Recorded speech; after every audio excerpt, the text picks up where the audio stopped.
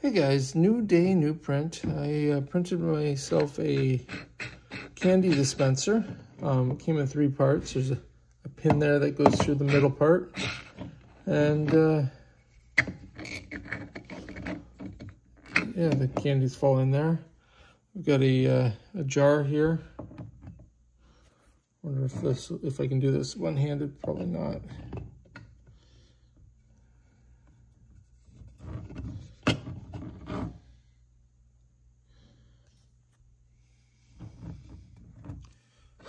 Let's see.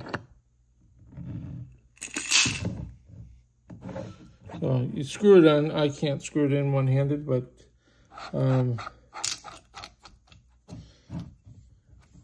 spin it and the candies fall out.